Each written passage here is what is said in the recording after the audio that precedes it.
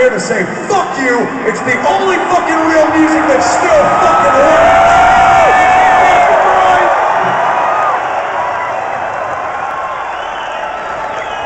So I want all you motherfuckers to help me sing this next song. You want to help me sing a fucking song out there?